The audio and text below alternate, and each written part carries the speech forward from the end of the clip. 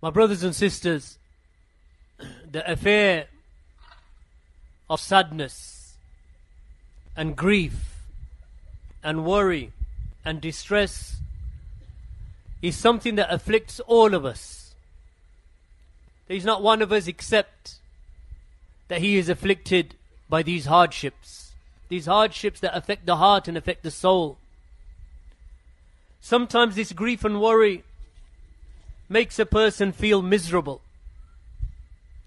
And they feel down.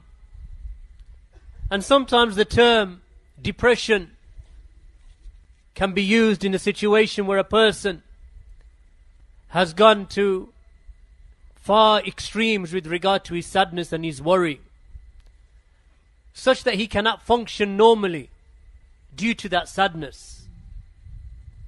The pleasure of his life is spoiled due to anxiety and worry. Yet alongside that, a believer, he knows that this is something that will occur as a course of his life. And he also knows that worry and sadness is something that is an expiation of his sins. And it is a means of raising his level before his Lord.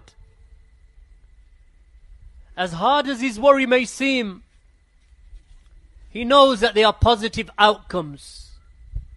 If he is patient, if he is truthful, if he is obedient and fearful of Allah subhanahu wa ta'ala. And from the most beneficial of those outcomes is that he is encouraged because of that which he is going through. That he is encouraged to turn to Allah subhanahu wa ta'ala. To humble himself before Allah. To complain of his suffering to Allah to make dua and, and beseech Allah subhanahu wa ta'ala. And all of this brings to a believer a sense of nearness to Allah in a manner that is indescribable.